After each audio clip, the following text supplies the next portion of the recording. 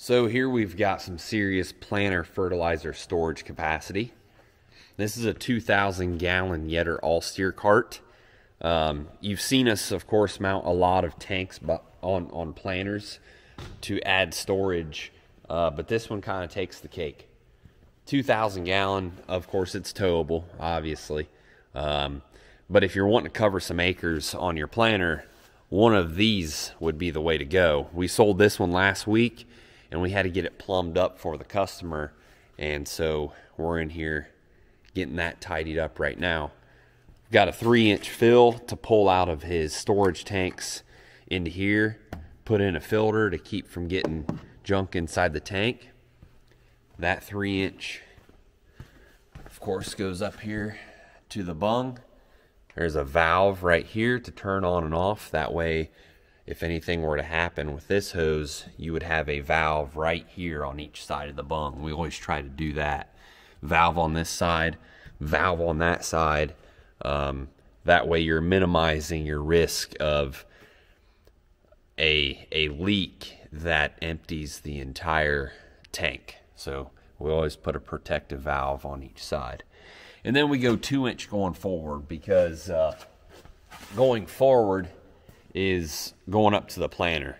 And so we ran that all the way up the hitch here to right here. So this will hook up to his planter. He's got a female cam lock on the planter and uh, be good to go. He's actually not to, at this time, not going to use this front 400 gallon tank. So we do not have that one tied in. A lot of guys will either run a separate product in there or they will link those two tanks together to have a full 2,000 gallon of a single product capacity. So that's how we add some serious storage uh, to a planter this spring. So if you if you're looking to add some serious storage, we've got some 16 and 2,000 gallon tanks available. This one's going to go out for delivery next week. Now this is where you lock in the all steer mechanism. When you you've got this linkage right here, it's a linkage that runs from the rear axle up to the front axle.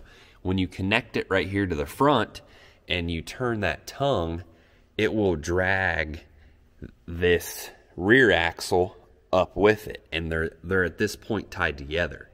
You'll do that in the field so that the front tires and the rear tires are in the same track. When you're not in the field, you pull this pin and put it up here, and that is on road transport mode. That's for higher speeds and uh, travel that way. So you can easily uh, lock it in and out of all steer function. And that's a handy deal for when you're turning. You don't get multiple tire tracks going around. So it'll follow right in behind the tractor. So, all right, that's what we're doing today. Getting this all steer fertilizer cart ready for spring. Thanks for tuning in.